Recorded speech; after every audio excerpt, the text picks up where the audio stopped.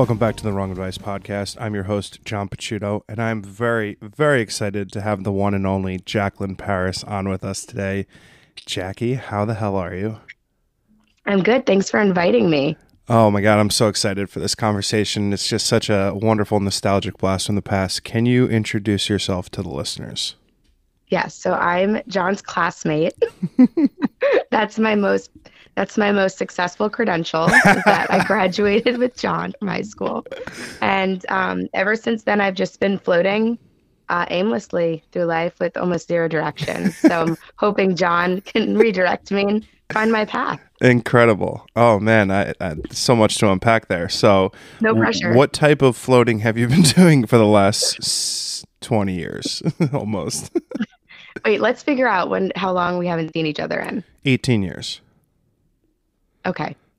I mean, I'm, it's my roundabout 2004 to 2022. I I mean, did you go to the 10 year reunion? No. No. So I haven't seen you in 18 you knew, years. You knew the answer to that. Well, I didn't actually know the answer because I was extremely intoxicated that evening. Um, this, there's no way campus safety would have let me on. it wasn't at school. no way. Um, no little golf cart. There's no way I would have gone through. weren't you like our vice president or something? I'm not going to be offended by the fact that I was the student body president. President. you just, my second most successful credential, you just demoted. Okay. Listen, you know, it was 18 years ago. There have been a plethora of fried brain cells since then. And I do apologize for well, that's okay. belittling yes, your biggest body. high school accomplishment. I was your student body president. Just mine, not everybody else's. Two terms. Two terms. Junior and senior year. That is impressive. How did that look on the uh, the old college resume? Slash, where did you go to college? Slash, who are you and how did you get to where you're at in life? okay, so um, I think the student body president thing probably gave a little a little boost, and may have helped um, balance out some of the convictions, and uh, I think it helped. I ended up at New York University. Oh, casual. I went to NYU. Yeah, super low key, not a great school at all. No, just, not not know. impressive at all. Nope. No. Um, I ended up there for pre med because I don't oh. know if oh. you remember, but I was an EMT in high school and I wanted to be a doctor. I did remember that. And so I went to NYU thinking that I was going to go to med school, and mm-hmm. that was the dream. So I was in all of those huge lecture halls with like 300 kids doing Bio One and Gen Chem and Orgo and the normal pre med track. And you're not a doctor. I'm not. Things have gone terribly wrong. no, I just think there sounds like a story there. So yes. you're in NYU doing all these massive lecture hall, horrible, boring classes. And yes. when did you change your mind about being a doctor? So um, I've talked about this a couple times to a lot of interns and um, young and emerging talent that I work with because I talk a lot about the nonlinear stumbling paths in the film industry. Mm. It just feels like nobody has a very linear path to where we are when we're in media. Um, yeah. And I was an EMT, I was a pre med student, and I was a research assistant on a book um, about modern mater- maternity care in America, kind of the horrors of modern maternity care in America. And I was working at St. Vincent's uh, Hospital in, on um, 14th and 7th Ave. And one of our patients walked in frequently she was a having a chronic medical problem and she walked in all the time and i had to scan her insurance card. And uh, it was from the MP, it was an mpi insurance card motion picture industry of america. Oh wow. And that's where she got her health insurance. And i casually mentioned to her one day that i was a research assistant on a book about modern maternity care and that it would soon be the basis of a documentary feature. And just making small talk with her because i was like, interested like oh it's gonna my research is gonna end up in a film turns out she was a producer in need of some research for her next documentary about a neurodivergent teenager, a 14 year old boy with undiagnosed autism on ASD. And um, I ended up helping her on that, and it just grew from there. I ended up as her coordinator ultimately. And then I want, went on to become an associate producer with her. And she worked at an independent documentary film company called Isotope Films. She was the owner, founder. Wait, I've heard of them. Yes. And um, they do a lot of amazing work. Yeah. And she's an amazing producer. And she had a small documentary independent shop located at the Tribeca Film Center, and that's where I worked. And I switched majors after my sophomore year, and I switched the colleges that I was I was inside the College of Arts and Science at NYU, and I transferred to Gallatin, which is the School of Individualized Study within NYU, where you can build your own major. Mhm. And I switched and I left medicine behind, and that was the last of that. Wow. I And you were like we were- what, 20? Yes. Yep. I I would- what, yeah, I right would after sophomore. I'm super curious because like I didn't make this sort of massive life change until my 30s. and I'm super curious like what that those conversations were like with your parents like you're 20 pre-med NYU like the entirety of your life and career in front of you and you go hey mom hey dad I want to be in film I want to you know Yeah. what was that conversation like I don't think they ever thought medicine was a great fit for me. oh Yeah. So they're both in medicine in different ways. My mom is an occupational therapist with a lot of quads in rehab hospital settings. mhm And then she switched to upper extremity injuries. My dad is a medical malpractice attorney. mhm So I don't think either of them, I think a lot of, I think both of them saw a lot of the horrors of the med- medical industry and um, how we were practicing insurance based medicine rather than practitioner based medicine and yeah. how defensive medicine has become. Um, and I don't think either of them thought that was a good fit because my math and science scores always deeply lagged behind my English and language arts skills, and writing was always something I was passionate about. And I think they didn't understand why I was trying this in the first place. So I think when I switched, they were like, this makes more sense. We've always kind of felt like you were going in a direction we never understood. That's really interesting. I I, I love that actually because I didn't have that sort of ability at 20 to figure that I was doing something that I didn't need to be doing. I've often spoken about how while college was the greatest 4 years of my life, I had so much fun. I met so many amazing human beings that I'm still friends with today.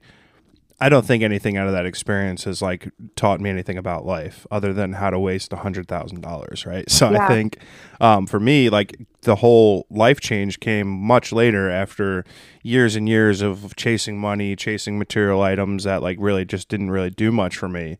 Um, and I'm wildly impressed by people who in their early 20s are able to sort of like look internally and be able to be like, yeah, I, I'm this is not for me. I need to find my path and make like strategic alterations to my life. And that's super impressive to me. Um, so I'm, you graduate college from NYU. You've been working on documentaries and Yeah. films, and where's I mean, there's a, a couple years between then and now, like two or three of them. Yeah. And and what's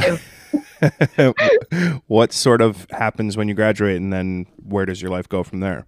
Yeah. So, and also in your in your conversation about switching in your 30s, I don't think it's ever too late to switch. And agree. I, anticipate another one.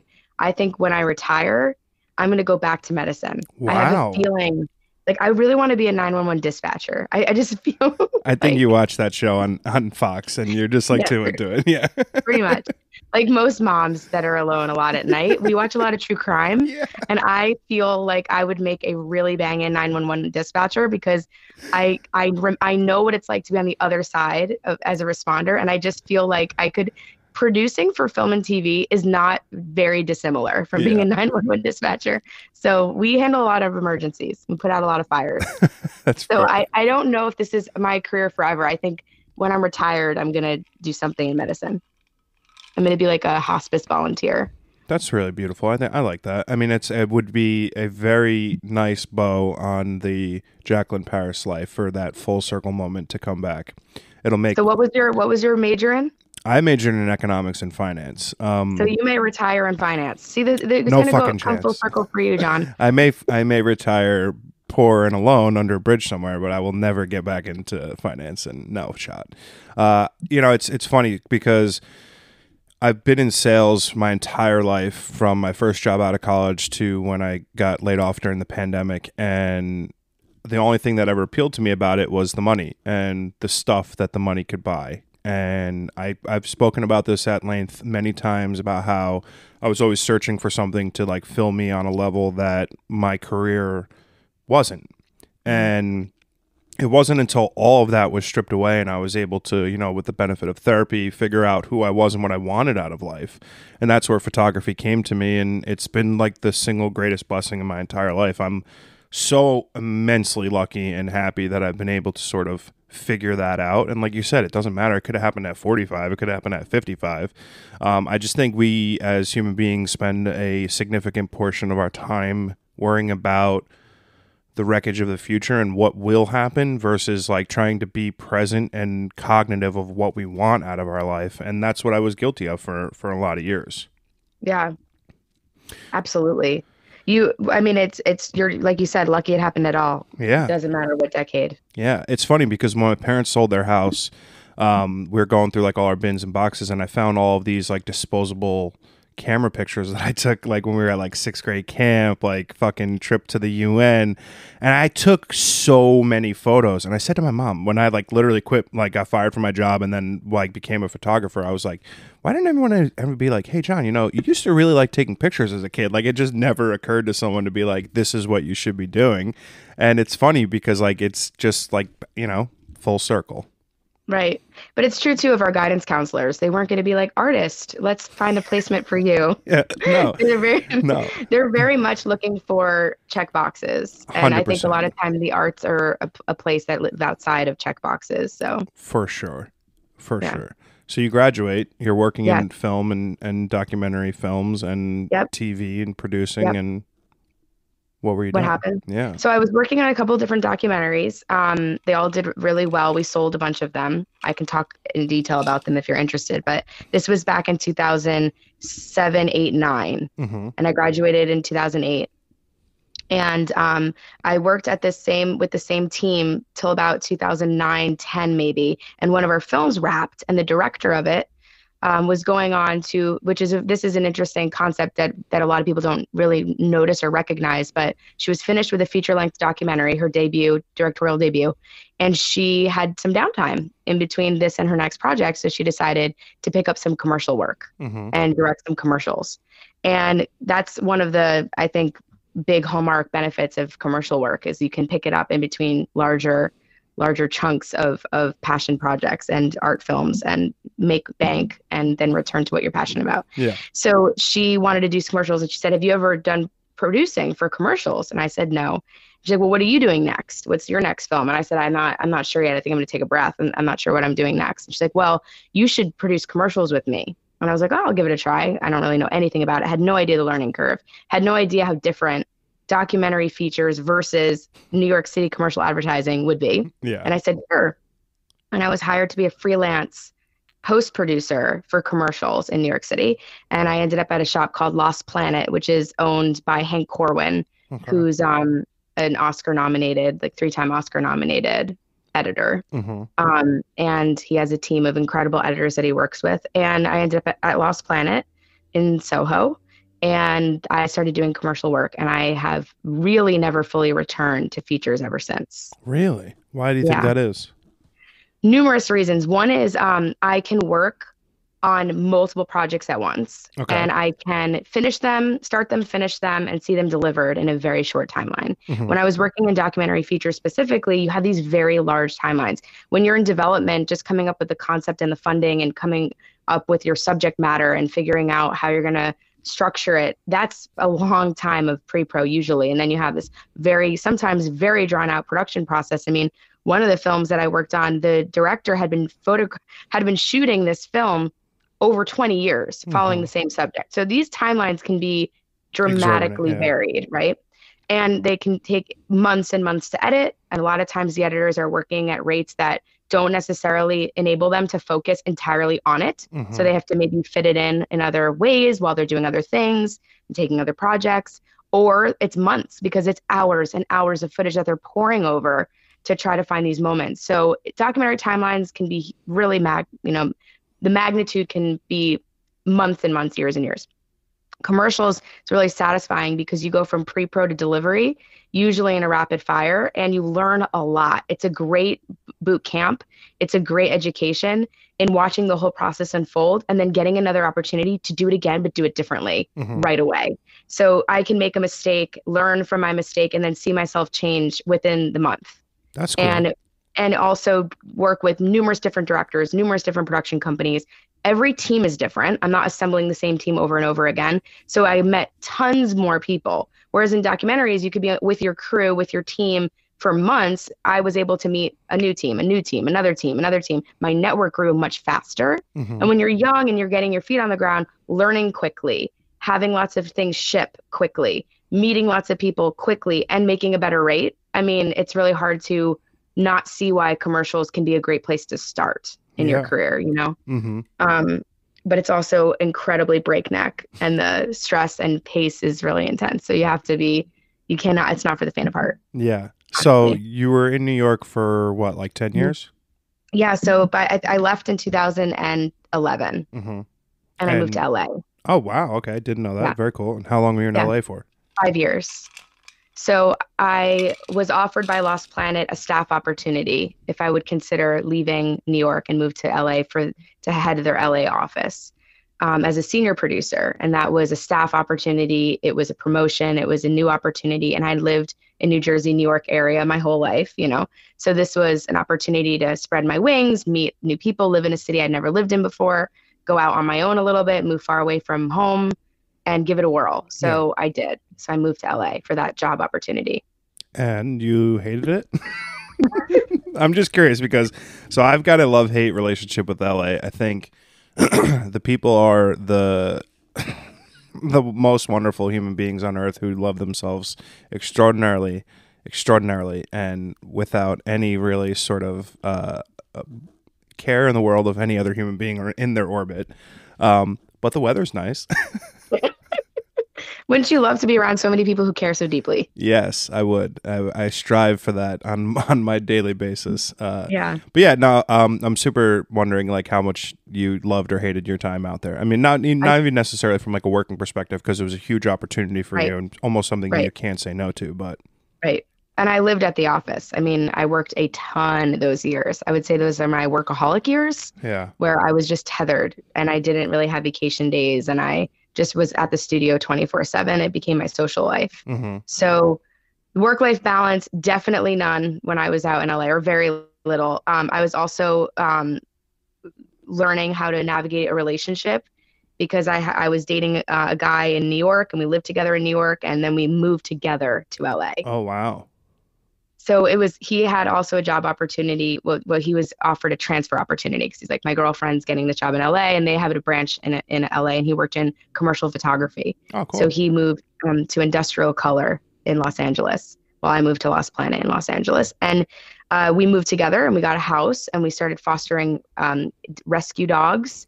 And, you know, it became very domestic. So I was used to New York City where we were on the subway and out till very late and, and in a great artist community in Bushwick. And we were in a crazy loft and we were doing all the art scene stuff and going to openings and um, foreign film premieres and just like living a really the New um, York much hustle more and bustle. Yeah, yeah, and much more indie and much more arts community focused and fine art to Los Angeles commercial world. yeah. So Soul there's a lot of culture shock there, and also just trying to adjust your relationship to new social circles, new colleagues, and new travel schedules because we both started traveling and he intensively started traveling Mhm. for commercial photography. And so he was never really around very much and his schedule was crazy. So it just uh, like la was a pressure cooker in a, in a great way It really advanced my career and i'm really glad i went.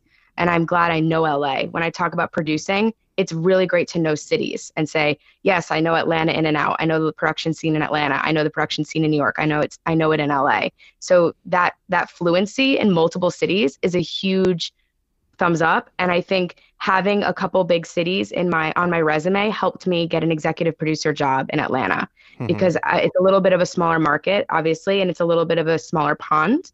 And having a little bit of a bigger a couple bigger ponds i think made me more attractive to atlanta That's interesting. Um, Yeah. Talk to me about like external pressures outside of your job because like Mhm. it's a big move with a significant other cross country. Yeah. Like and like I I'm assuming that didn't stay together for the entirety of yeah right. So I'm like, how did that all like work life balance sort of unfurl and what did you learn from that?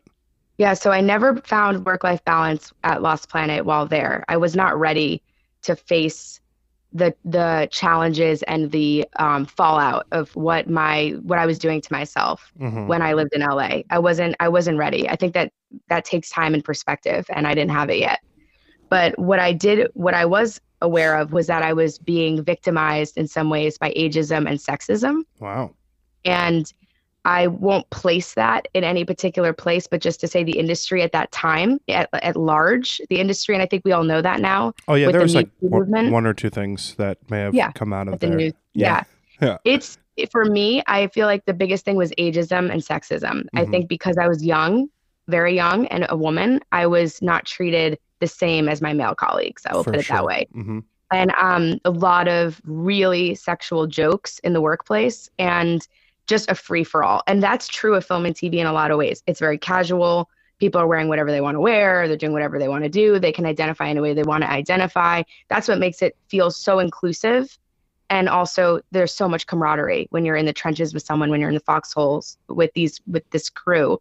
You become this incredible brotherhood, sisterhood amongst the crew and amongst the the teams that you're working on hmm but um, yeah, I had a lot of very blatant, very blatant in writing, in email threads. I could print them. Insane ageism and sexism, and I I see that now as okay. You are twenty something. You are living in Los Angeles. This is prior to the Me Too movement. Absolutely, Yeah. it, it was culturally acceptable. I was working with men in their sixties, fifties, um, with a lot of power and a lot of control, and no doubt that is what was going on in in early before 2000 i would say between 2009 and 2013 Yeah. Yeah. That's not fun. no no but it makes you stronger i definitely think it's it's not you can you can choose what to do with that experience and Yeah. i chose to like be galvanized by it Well, I think that's sort of like a testament to who you are as a human being. I mean, obviously, but that doesn't really surprise me about you at all. I mean, that is Jackie Paris, student body president to its core, right? That's who you are. Um, yeah. I mean, I'm sorry you had to deal with that. That's just men are just fucking such trash in the world. And uh, it's just yeah, that sucks. Um, and i don't and i don't i don't think that way just so you know I, think do that I, way. Yeah. I, I, I think I speak for 95% of people when I say men are trash. We're just Yeah, a well- disgusting bunch, period. End of story. We don't have to. that's evolutionarily significant yes. Yeah. It's the internet's fault. But yeah, I, Yeah. di- I digress. Um, so you had this huge opportunity in LA, and then you get another huge opportunity to move to Atlanta, executive producer with. Uh, Yes. Uh, uh, I'm sorry. I don't know who you work for. Uh, yeah, Deluxe Entertainment Services. They are a over a hundred year old company. They own a, they did at the time own a bunch of other companies like Encore, Method, Company Three, Oh, cool. cool. um, Beast Editorial, and they. Um, I didn't move for the opportunity to Atlanta. Uh, my um, I, husband at the time, he his family lives in Atlanta. My children's father's family lives in Atlanta, and he saw an incredible opportunity in Atlanta with the tax incentives and the incredible amount of production happening in Atlanta. hmm And we thought, you know, LA is just not the place that we really were ready to raise children and Yeah. buy a house and live well in LA. Yeah. And so in in becoming married and deciding we want to start a family, it just made a lot of sense to move back to where cost of living is better, the pace felt better. We were close to his parents, Mhm. um, close to his family all around. So we decided to move to Atlanta. He had a lot of opportunities there, and I did not have any opportunities that I knew of concretely in Atlanta. Um, so we moved to Atlanta basically with the idea that I'd find something when I got there. wow. That's Yeah. ballsy. Yeah, but you're married at that time. You know, you feel it's it feels different. You're a team. Yeah. There's partnership in that. Um, you're not flying solo. So when one person has a great opportunity, you know, he moved for to LA for me in a way hmm because I was the catalyst to move out there, and he believed, and I believed in the move to Atlanta. That's nice. I Yeah. can't I can't relate to that in any way. I've never had a partnership that spanned any more cities than one at a time. Um, Yeah. I'm I'm curious like how your personal life and your work life sort of evolved because like being a mom, juggling motherhood and children, and I've got five nieces and nephews. I've got a lot of like, hey, this is so fun. Now you can put them and to bed you're done. and I'm Yeah. done. Um, Yep. But uh, like I, I do not envy the work life balance for parents at all because, especially in the last two years, there is none. Um, Right. That has evaporated. Um, but talk to me about like being new in LA, uh, LA, Atlanta, and then Yeah. like that process of like being a mom, working, finding opportunities in your career. Like that's got to be a lot. Oh yeah. So I had a really um a really bumpy road. Uh so I landed in Atlanta and I start chatting with a bunch of shops in Atlanta, but I don't end up getting a ton of Atlanta based work as a freelancer because I'm mm-hmm. also new to the market. And I think Atlanta, rightfully so, was really sensitive about people coming in from LA and New York as opportunists mm-hmm. when there was a lot of there was a lot of incredible homegrown talent here. So that have been here for decades, and then we come in like seagulls and say like we're here, we're gonna shit all over everything. Mine. And um, yeah, so I think that there is a lot of, you know, looking for a 404 area code phone number when you're talking about getting a gig. And I think that it was more, you know, priority to the ones that have been here tried and true. And I get that. Um, and I, and I believe in that. So, so I had no problem with it, but I ended up traveling a lot to LA and New York for work. Mm-hmm. So even though I lived in Atlanta, I've worked in LA and New York pretty right. much until I got a staff job at Deluxe. Um, and I was shopping for a house. So I was doing a lot of open houses and real looking at real estate, studying the market, looking at floor plans of homes and looking at neighborhoods and trying to figure out where's I never really spent any significant time in Atlanta. I didn't know the city, didn't know the neighborhoods, didn't know where do we want to be? Where what's a good what's a good spot? So I was doing a lot of that while Brett traveled and Brett was working on a documentary for the BBC about Olympic athletes. Cool. So he was interviewing Olympic athletes. I think he took 72 flights that year. Oh my god. Um, yeah. So he was like a so like a diamond platinum medallion Sky Mile. I don't know. He was yeah. like yeah. he was doing well yeah. in the Sky Mile department. But I was at back at home like pounding the pavement. We did that for a little while. And then I ended up pregnant with our first son and got an interview for this great opportunity as an executive producer while I'd been like one week. Found out I was pregnant one week. And I was thinking, you know, legally we don't have to disclose our status of pregnant or not during an interview, obviously. Sure. But I also felt if this was a employee employer relationship that was going to be built on mutual trust and that I was going to do well with and I was going to jive well with and and appreciate their ethos, then I could say it and see how they responded. And if they there was no, you know, discrimination or concern about it and there was a lot of support around it, that would probably be a place that would support motherhood and all of its complexities, including my schedule and maybe a lactation space or maybe a maternity leave or maybe, you know, so I really hemmed and hawed over whether to say anything. I hadn't even told my parents, I hadn't told anybody that I was pregnant. Um, except for my partner Brett. And I was in this interview and I thought this is really going to affect this job because if I do go on maternity leave, I could count out how many months it would be before I'm gone. Mm-hmm. And then I thought, gosh, it's a lot of, you know, it could be a lot of travel, it's a lot of sales missions, it's a lot of hours in the studio. It's very stressful. Like it's a it's an incredible opportunity. It's a leadership role. But gosh, like I, I don't know what motherhood's gonna look like either. And the uh, man interviewing me was is a father himself. And I was just like, I'm just gonna tell him. And if he doesn't hire me because Fuck of it, him. that's that's good information. So I tell him, and his response was so reassuring and supportive. He was like, wow, you didn't really, you know, I said, I know I don't legally have to tell you this, but I do want to warn you, I am pregnant. It's very early on, but if I do have this child, it will be nine months from now. I will want a maternity leave. Mm-hmm. And if that's a deal breaker for you, let's talk about it. Yeah. And let's talk about it now.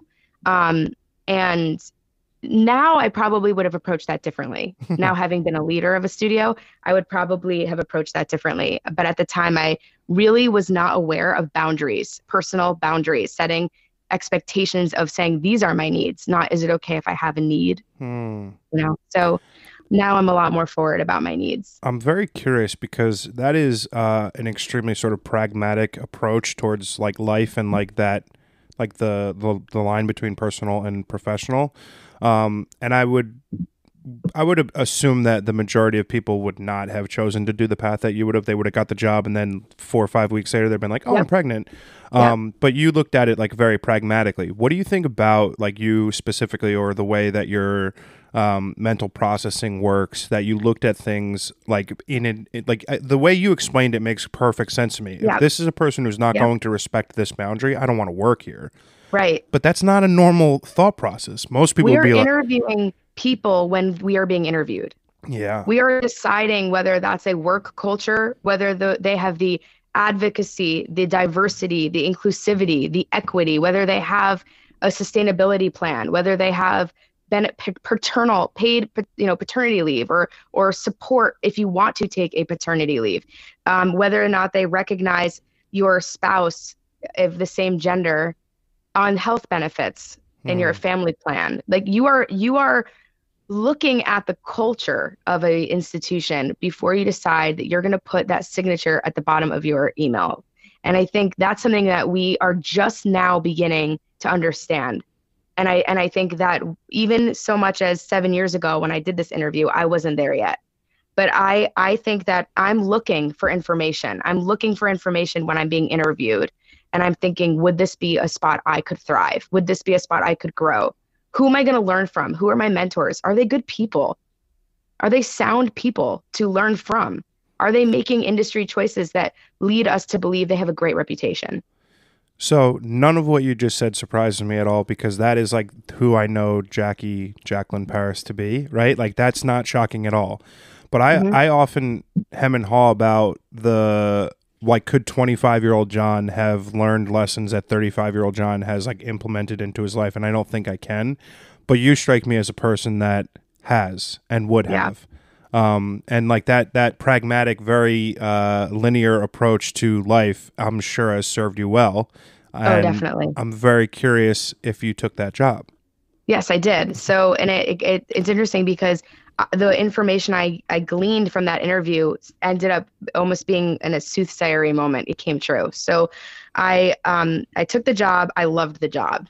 I, I was like really I always wanted to be an executive producer and have that opportunity. So I felt like, okay, this was the resume topper. This was the title I've always wanted to have. And because motherhood's coming down the pipe really soon, I'm glad I have it before I became a mom. Mm-hmm. If I ended up taking time off and going back to my industry, I wanted to go back to my industry having had this experience under my belt. Yeah. So I was really proud of the job. I loved the colleagues that I had. I did the job. I had a child and I took my maternity leave and I came back and things fell apart for me. So my son was a, a traumatic birthing experience, a NICU baby, um, multiple significant health issues, uh, in and out of medical care for the first 18 months of his life. Never slept through the night till he turned 18 months old. Um, ear surgery at nine months old. Like we we had our we had a run. Yeah. And I just continued to push. I was the EP of all EPs. I was the mom of all moms, trying to juggle both spinning plates all the time. And things were just crashing all around me. But I was like, I'm just going to keep doing it. I'm going to keep doing it and face every challenge. And it was my mother who I called to please come in. She's retired at this point. I'm like, I need you. I'm going to book her flight for the next morning. She's got to come in because my son has a chest infection again, and we need to do nebulizer treatments every four hours around the clock, including waking him up. How am I going to do that and yeah. be an executive producer? So I so moms are amazing and they come to your rescue. So my mom came in, but she had a really incredible come to Jesus moment with me where she said, "How what is your plan?" It was a stop the train. Let's pause. What is your plan? And I didn't have one. How are you going to get this child to eat solid foods? How are you going to do this when I leave? Because I'm not staying forever. I'll stay for two weeks and help you out. But what's your, how is this sustainable? What is your plan? And I did not have one. And she's like, you can't hire a nurse or a nanny to, to make these these decisions. This is a parent's choice. You can't make you can't hire a nanny to nurse rehabilitate your child back to health. You can't take a nurse or a full-time nanny and say you need to go to these doctor's appointments. You need to do these breathing treatments. You need to do this medicine. How are you going to do this? And she said you need to figure this out. And she was right. And nobody else was going to hold up the mirror but your mother. What was that feeling like for you? Like when that that realization struck that like maybe what you were doing and and that balance between work and right. life wasn't working? Yeah it was really bad. It felt terrible but she was totally right. I needed mm-hmm. that moment. And that was in december. That was around christmas break. It was before christmas break. And i just had a meeting with the same guy who interviewed me. And it's been like you know at that point it's been like two years since that interview day. And here it is. And i said i can't do this anymore. So i need to take time off and spend it with my son and he offered me FMLA, family medical leave of absence. And he said, How about four weeks or how about six weeks? He was trying to figure out how much time do you need? And I realized, I thought about it. I think I took the day, you know, I was like, let me get back to you. And I thought, no, there's no timeline for this. I do not know. I do not know how long it will take. And I refuse to put that pressure on myself to put a deadline on my son's health. I know it could take eight weeks or it could take eight months. I I I have no real sense. And if I say, I'll be back in four weeks, you know what I'm going to do, John. I'm going to be back in four weeks. Yeah. Regardless of what's mm-hmm. happening, I'm going to force the shoe to fit the foot. And I'm going to say, I'll be back in four weeks. Mm-hmm. So I just said, I can't give you a timeline. And I know you can't hold this job position. Let's open ended indefinitely. We need someone here to be the executive producer. So I quit. and I gave like a month's notice. And I just said, you know, mid mid January, I'm out. And that's what I did. I quit my job. Wow. And I was a stay at home mom for three years. it took three years. That's what you do for your children sometimes. If you have the socioeconomic ability, the Well- freedom to do so, which a lot of people don't. I was I'm very glad you said that because I I didn't want to dive too deep Mm-hmm. Yep. into like your financials because those types of decisions often come from a place of financial strength, um, Yep. which I would imagine, obviously, socioeconomically, you had done well for yourself, and it it provided you with that opportunity to make that decision. Um, do you think had you not had that buffer, that uh, sort of space for yourself, that it would have been hard for you to make that decision to leave? No, and it's in Oh. a weird way because I have said this before. Um, now that I'm divorced and I'm a single mom, but this is this is this is all happening while married. So I have someone else with health insurance. I have someone else covering the family. I have someone else earning a, an income we could we could estimate and say it's going to be about this, and it's Mhm. pretty reliable. So I made that decision in partnership, not solo, right? But since flying solo, I have had very um, th- these questions asked of me, like how are you doing financially? Like how do you how are you how's life?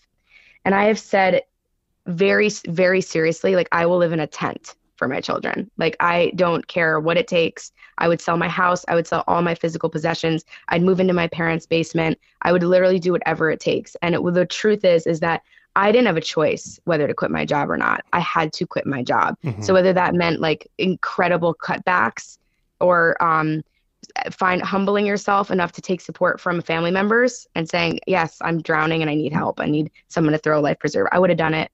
And I'm fortunate that I didn't have to, but I didn't feel, I felt my hands were tied on this decision. And that w- when you have a chronically ill child, like life just absolutely stops. You can't function. You cannot function when like they're going like with Well, with there's my one priority. Yeah. There's just yeah one. you you literally can't it's it's just survival in maslow's hierarchy of needs if you don't have like the foundation you can't build on top of it you cannot be self-actualized you cannot focus on other things when you have like the foundational parts of the, that maslow's triangle triangle crumbling Mhm. so that's what it felt like to me at that time period Yeah, I mean that's heavy. Uh, you have two kids, two sons now, correct? Mhm. Yeah. Um, Mhm.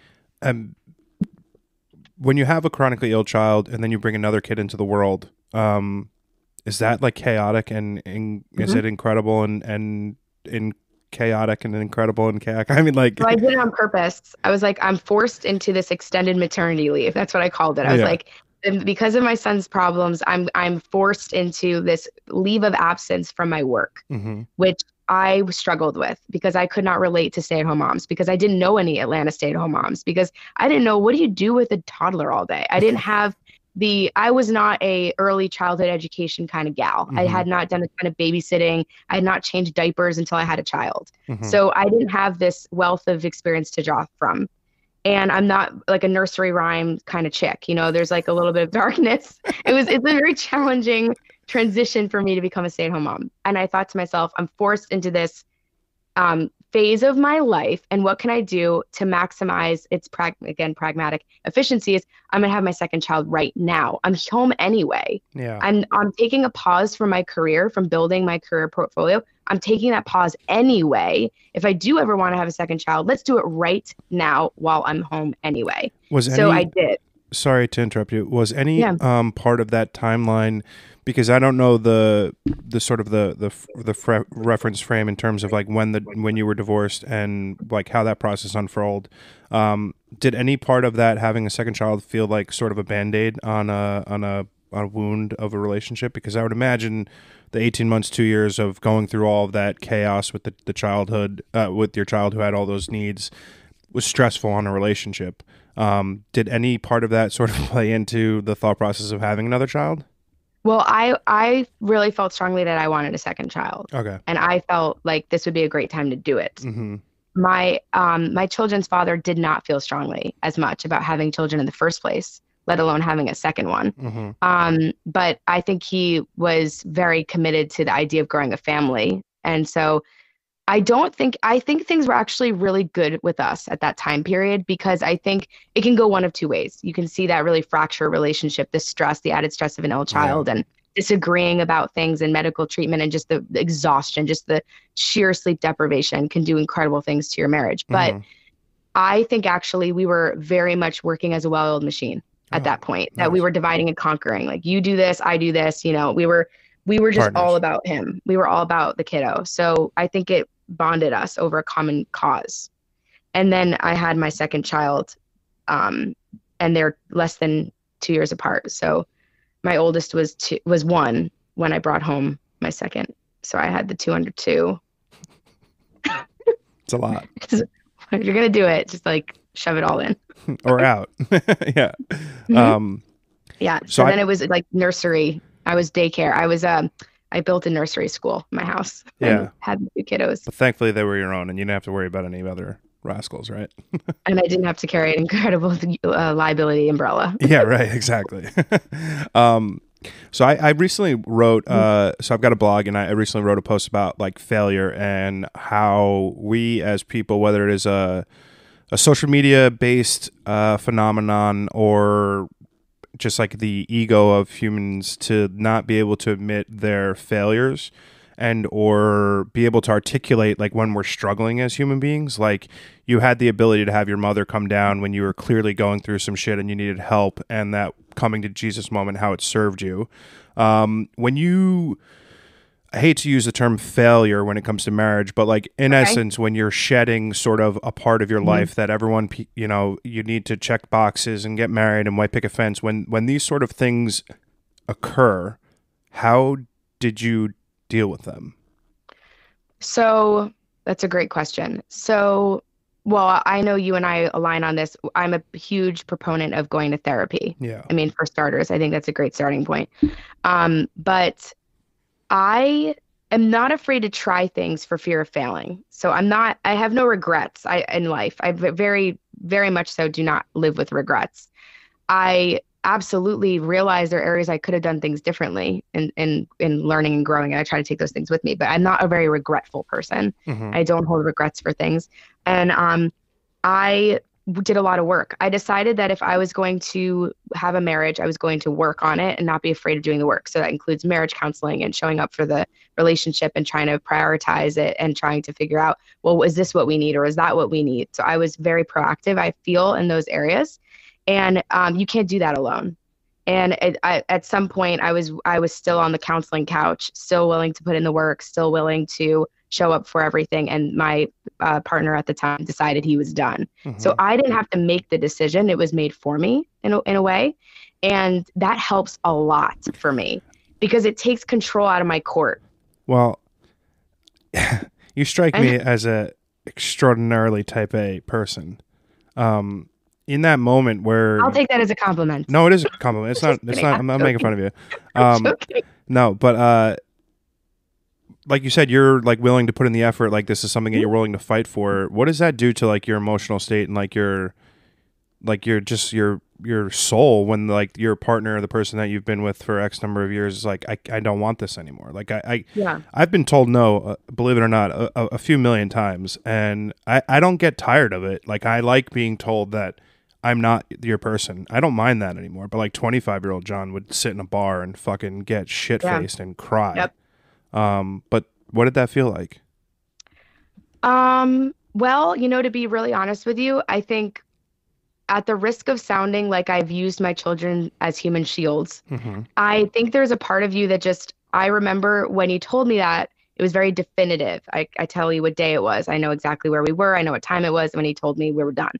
And I had a Zoom meeting for work in like 30 minutes. So it was a very like, pull up, you know, pull yourself back up, wipe your face, you're on camera, you're on a Zoom call for work. Mm-hmm. And I just move forward. And I think part of it's just survival. Like I have two kids that I have to show up every morning for. They wake up at 6:30. I have to feed them. I I'm a full-time 100% custody of my kids, so I'm I'm 100% on camera for them every minute of the day. Mm-hmm. And when you're in survival mode, you don't have time to sit and cry about it or sit and mourn. And I just launched into pragmatism and into function and into survivorship. And I just really, really cranked it out. I was like, all right, we're going to get the house. We're going to do the things. We're going to figure out, we're going to make the kids not know about this. We're going to shelter them from this. We're going to figure out how to be peaceful co parents. We're going to be great co parents. We're just going to keep going, keep going. And it was only when the ink dried on the divorce decree and I had it in my hands, which was months and months later, because that takes time mm-hmm. to deal with all that crap. It was only when I held it in my hands that I was like, wow, the survivor um, mentality, adrenaline yeah. dropped and it was gone. And it was like, this is done. Like it's very finalized. And I had it in my hands. And I, that was the first time I felt any ounce of grief about and they talk about divorce as as uh, the, the, steps of grief you yeah. mourn the relationship it is literally dead the mm-hmm. relationship mm-hmm. is gone and you have to mourn it like anything else and i held that thing and that was when for the very first time i was sad mm-hmm. it was only almost a year later wow yeah actually it was 13 months later that's very interesting i mean again it's you don't have a choice to sort of react in any other manner. You're a full time mom. You're full time working. You're, you have no choice but to be yeah. that. Um, that feels like helps. That is honestly being purposeful. I'm not saying this is a good coping mechanism. I'm not saying distract yourself into oblivion, make yourself so purposeful you can't feel feelings. Yeah. But there, you know, there are jokes. I have a lot of jokes with my friends. I have been called the Tin Woman. Oh. A lot of people don't feel like I have a full range of emotions available to me. so I, I just didn't get besotted with grief. I didn't, I did not, and again, failure is part of our, our, our world, right? And in the arts community, you're gonna face a ton of rejection. You have to keep putting your portfolio. You have to keep sending self-addressed stamped envelopes, not literally anymore, but you know what I mean. Emails. You have to keep sending out the queries and the manuscripts. You have to keep reaching. And if you are afraid of being told no and having doors shut in your face, it's hard to be an artist. Mm-hmm. So you you know what it's like to face failure and say it's okay. I got to keep doing it anyway. Hundred percent. But I think I come from this in a place where I have zero dependence and I have the ability to absorb every single no. I also have the utmost belief in myself and my skills and my path. Like I've already manifested where I'm going to be a year from now because 2 years ago I've manifested where I am today. It's like right. there's no doubt. I know I'm going to be successful. It's not a matter of if, it's just when it happens. It's like everything yep. that I've built over the course of two years has led me to this point. Um, but it's very easy for people to take that rejection and that failure and internalize it and be like, "I'm a loser. I'm a failure. I can never do anything else." And I that's why I wrote the blog post. I I, I wish there was uh, the ability for people to normalize failure. It's the most common thing in life, but we don't talk about it. We have to eschew right. it because can't be vulnerable on the internet. Can't be vulnerable about who we are as right. people, and we experience these things every single day. And it can be very um, uh, it could have a paralytic effect if you cannot face failure because oh then God. you can't move. I think the thing is is that your own inner voice as an artist and as as a maker is stronger than that of your audience. So you are more invested in how, what you think of your work than what everyone else is saying. So I think that's a huge benefit to your trajectory because that's really what you're saying when you manifest things is that you you have heard yourself. You are listening to your own voice. You are listening to your inner gut. You are listening to your intuition, your instincts are driving you, not what the guidebook says, not what that agent that rejected you five years ago told you your path would look like, not what, you know, what the critics say. It's really about you. I want to tell you a funny story. It's, I'll make it quick because I two years ago put my portfolio together and it was shit. And I found this woman on Twitter who's like a um, I don't want, okay. She's this person who's like opinion mattered greatly. And she was like, hey, I'm doing free portfolio reviews and I want to look through anyone who sends me an email. I will look through your work. So I sent her my portfolio and I, it's still sitting in my inbox because I refuse to delete it. And it is something to the extent of, hey, your work is not important and nothing about what you sent me is something that I need to review. So I don't want to waste your time and review it. And I was just like, cool, I'm super glad that you feel that way. I will be talking to you in a few years. And I basically yeah. was like, S my D. And yeah. But those sort of motivations are crucially important because being told no should push you into being something better than you are currently. Because it's not a no, right? You're not saying no to me. You're just saying no to what it, my happenstance is today Tomorrow Right. is a different story. The work that I produced between that moment and today has propelled me to where she's probably going to interact with me at some point in the future and hire me. It's like you have to be able to take these instances of loss and regret and failure and have them be self-motivational tools to grow. Mm-hmm. And you need to be able to reject people with grace. Ooh, Because if you're a producer, you do end up having to reject people. And so I'm going to empathize with her position, but I'm not going to validate the way she talked to you because you the community is small and incestuous. And it's incredible how many times you circle back to the same people. And it is it is likely that your elbows may bump into each other at an art show in the future. And it's i think she should be careful how she rejects people I just hope she thinks I'm cute and I can be like, mm, no, sorry, girl, not doing it. yeah, it. you've been working that angle for a little too long Yeah, I, I've been think, I think about it. It's the thing that motivates me though, because if if someone tells me I'm not good enough, I have now put them on a pedestal of someone I need to prove wrong, and it might not be the most healthy manner in which to go about something. But as a creative, I found the biggest thing that I lack is uh, motivation outside of just creation. Right, so I need something beyond the motivation to create, and that sort of I'm not going to use the word traumatic, but that sort of rejection fuels me to want to be a success above where she thought I was. So it's I don't need motivation to create, but I do need motivation to shoot with XYZ, bill XYZ, like the money management, the uh, you know Right. the the business side of of growth that I I at times need because I'm very very happy with just creating work and if you I- are on left side of your brain right side of your brain and le- one side is the maker and one side's the manager i think that it's very much healthier the the dynamic you have where you are put you are you don't need inspiration to to shoot mm-mm. that's huge because there's this great quote from Baldessari who said like um great artists are possessed which you cannot will yeah. you cannot will yourself to be possessed by your art, but you can will yourself with willpower to say, all right, got to open my QuickBooks, got to be disciplined. But the p- true possession, the true possessed nature that photography has over you, you can't will that. That's something beyond will, yeah, in my no. opinion. and it's I say it very often, but like there are moments when I'm on set or I'm, on, I'm doing a shoot when I capture an image, and if it's obviously it's not if I'm shooting film, but like when I shoot a digital and I look at the back and it's there, that feeling is an indescribable moment where I know I'm doing the thing that I'm meant to do, and it's an immensely freeing and wonderful sort of feeling. Um, you're in a creative industry. Mhm. I'm going to say business side or like management side. Do you Mhm. have any creative pursuits in yourself outside of work? Mm-hmm. I wish I had a funny answer for this and had something that was like very, very off-putting and, and odd and underground that I could say I do. Like, but I, I don't. But I, I have a bunch of artistic pursuits. So one of the things that I really like is I do like design. So I do tend to do a bunch of home renovation projects in my Mm. own home. Nice. Um, and I am also uh, writing a zine right now. So um, That's so cool. I, I love zines. Writing or and I- drawing? Are you doing both? Writing. Okay. I'm writing. Um, and I'm teaming up with a female illustrator. It's, it's really about divorce. It's about motherhood and dating and being being a single mom. How? Sorry to interrupt you. How? how okay. I'm. I'm. So I, I used to do a lot of internet writing about dating and relationships, um, way back in the day. Um, how is dating as a single mom? Is it impossible? Is it? No. Well, so I had a date with a guy who gave me great perspective because he he called me on a couple things that I'm really grateful. I went on some dates with this guy.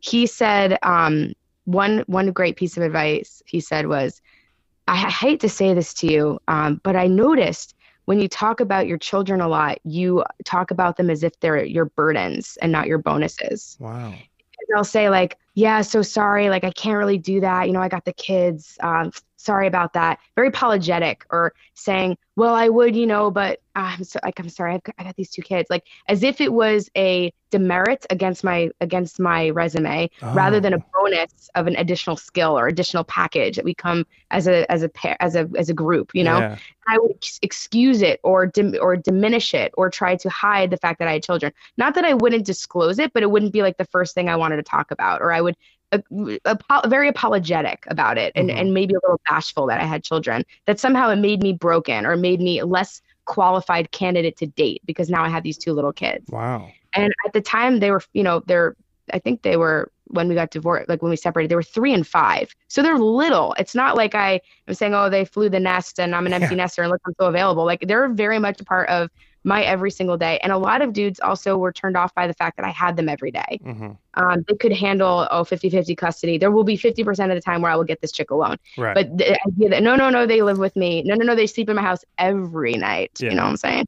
Uh, I think that was a turn off for a lot of people. So I ended up becoming an excuser. Like, sorry about this, but I do have two kids. And so this guy was like, listen, and he was a father himself, and he had like, you know, quite a significant amount of age on me. And so as a, as a, imparting some wisdom on the youth, he said, I want to just say you should you should be so proud like you're that makes you more of an interesting candidate. That makes you more of an interesting person. That's an incredible bonus. They're not a burden they're a bonus. They're going to help you find the right match because they're going because a guy who wants that whole package is going to want you. Like you don't have to excuse them. You can be really proud and say and it's amazing i have these two kids. Wow. I love Yeah, that guy. i know me too he also said something about my body, which was really interesting. So for all the mamas out there, um, dating, dating uh, as a single mom and like postpartum, Mhm. and uh, like I nursed for an extended period of time. So like you know you're getting back on the market, and like you're not that far off from being a pregnant lady. Yeah. Uh, he said something about um, he worked in a motorcycle shop. He was a metal worker, incredible fabrications of custom motorcycles, and he. Which is very hot, John. I was just going to say, this guy sounds hot. Can I get him on Yeah. my podcast? Jesus. I, he would totally do it too. And he he read this um like Zen and the art of motorcycle riding, or this, Yeah. this he read a lot of Buddhism books about, but also about craftsmanship and working with your hands. hmm Also great. Yeah. And he and he said, um, I I also think he perceived that I was not as confident about my body, and he said, you have to uh, make the best use of the tools you have because these are the tools you have. This is it. This is what you have in your tool bag. You open the tool bag. These are the tools you have. You have to accept that this is the bag. That is all the bag will be. These are your tools. Enjoy them. Make good use of them. Like see them for what they are and not be like I wish I had this tool. I wish I had that tool. Just just open your bag and look at your tools and then just exploit the shit out of the tools you have. And I was like, "Yes." Yeah. Like it's so simple. I mean, it's Well, it's, simple for a man to say because I, I agree wholeheartedly with what he's saying. Yeah. Very easy for a man to have that perspective, and I have that perspective of a man. I am who I am. I have wonderful dad bod. Uh, you know, I'm like I'm Yeah. unapologetically myself. But Yes. society doesn't give that space for women, especially No. postpartum women, and all that stuff. So I, I get Mhm. it. I get it. Yeah, he would say, it is what it is. Mhm. This is all that it is, and this is what it is. And you're looking at it, looking in the face, and be like, this is what it is. This is the this is what I've been left with, and just like own it, love it, use it. Yeah, I love that. I Yeah. mean, listen, Yeah. I, I've made the same joke about seven times via Instagram. You have not aged a fucking day. You look exactly the same as like second grade. It's bewildering. And I am not aging that well. And it's like, what the fuck, dude? Like, drop your skincare routine and like share the wealth. I have no skincare. so, no skincare routine Here's is my- the here are my new skincare routine. Work inside in the basement. Never get any sun on your face. Um, enormous amounts of stress, and Caffeine. don't have any time for self care. Oh, and then you won't notice Yeah. that you're actually aging. You'll just be in a little time capsule of formaldehyde in your basement, like me. nice. Very nice. Um, i like to spend the last bit of every podcast doing like a little bit of a rapid q&a some are super easy some are a little bit more in depth. Um, what is your favorite movie? That's a really hard question. all right give me but- like two or three then. Okay. Favorite narrative feature Julian Schnabel's Diving Bell and the Butterfly, okay. Hands down. Um, read the book first, is my well disclaim. um, fav- like you want a different genre, or just Yeah, should we leave it there? just like That's top- a pretty good. okay you're good there Top- uh, is it your favorite book as well No. what's your favorite book Oof. Um, By the Shore by Galaxy Craze. hmm, i'm not familiar Yeah, it's actually like a YA book, I think. okay that sounds like Because like my Paris. skin, I haven't my literary skills haven't also aged since second. did you That's last hung out with me? yeah, 18 years ago. Um, what's your favorite Do I get to do a rapid fire QA about you as Yes. a child yes, absolutely. after this? Okay. Yeah, favorite food. Uh, potato, because I can make it a million different ways. Dude, my cousin, I guess in law, my cousin's wife made such bomb mashed potatoes last night that I'm I've got them in I'm looking at my refrigerator and I'm having them for lunch. Yeah. And I also just realized I left my orange juice out for the last three hours, so that's going in the garbage. Great. Um, do you Make it believe? into kombucha. Ew, no, I'm not hipster enough for that. Um, do you believe in an afterlife? That's a really hard question. Um, no, I don't think. I think we do come back though. I think I think we have energetic forms that move out into the universal space, but I don't necessarily believe in a heaven or hell. Yeah, I, I, I like that. Um, Yeah. This is going to be somewhere in the episode of my 90s, and I'm going to go with about 80 plus percent think that there is something when we die. And I'm not talking about like a party in the cloud, but just like it's not just finite, finite, it's over, which I find personally very reassuring. Um, what inspires you? afterlife? Yeah, wholeheartedly. Yeah. I don't think like I'm not a religious person. I don't think like Jesus Christ is going to be like meeting me at some gate somewhere and being like, "Yo, John, we've been waiting for you, bro. Like come fucking smoke a J." No. I think it's just much more I'm I'm I marvel at the beauty of life and I think that we are put here to spend as much time as possible doing the things that make us happy and fulfilled. Um, but I think just like the sheer audacity that I exist is too improbable for there to not be something beyond this life. And I just think like there is a one in eight billion, eighty, hundred billion chance of being born. And that to me just gives some credence to that. It can't just be like an accidental Right. happenstance. Um, but yeah. What uh what inspires you?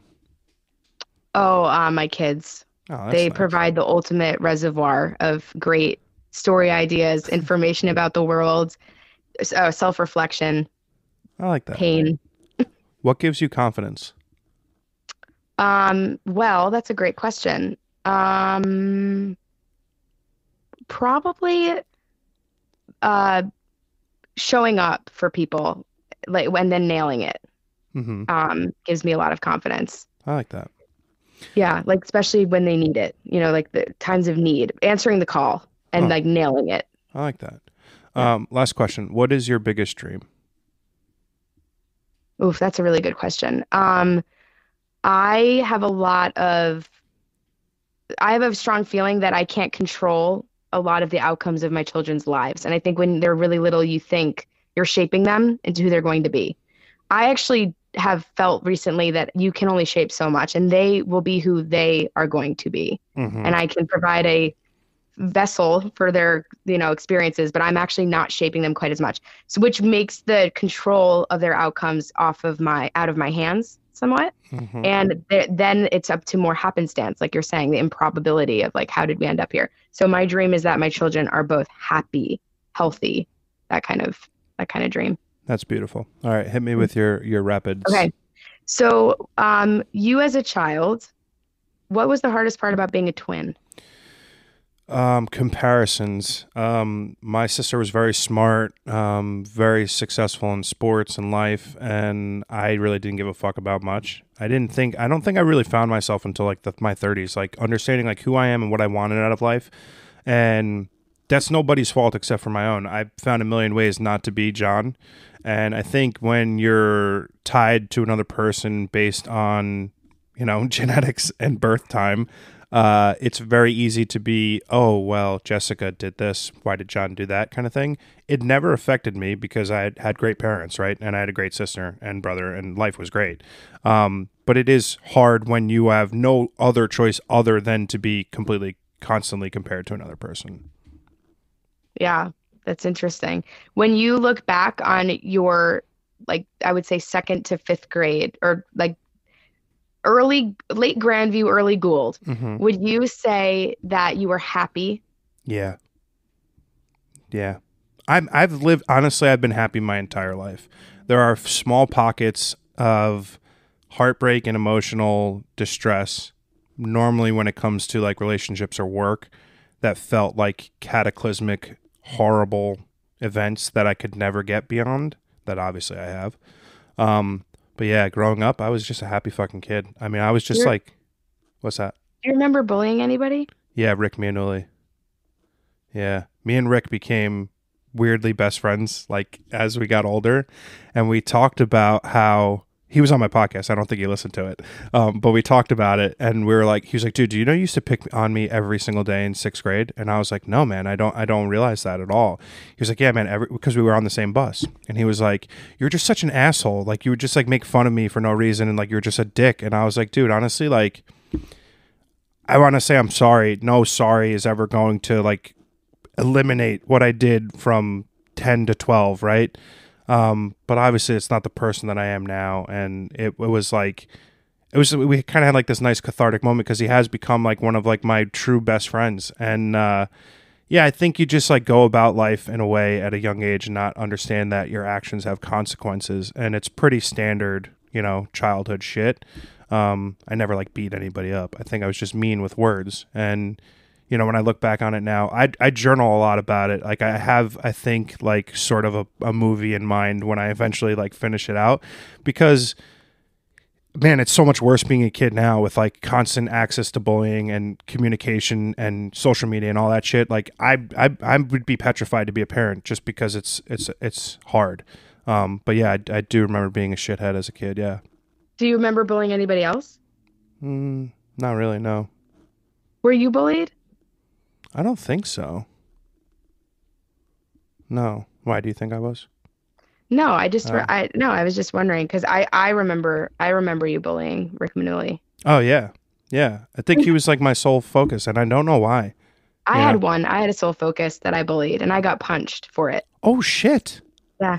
No way. I don't know if you remember this. I don't know if we don't. talk about it. There's no apology that I can make at 36 that will ever make up for torment done to a person. It's incredibly impactful and incredibly traumatic for growth to a child to be like picked on and bullied for something that is completely utterly out of your control and there's nothing you could do about it. And it's can't learn those lessons when you're a kid because you're a fucking kid. You don't know any better. Yep.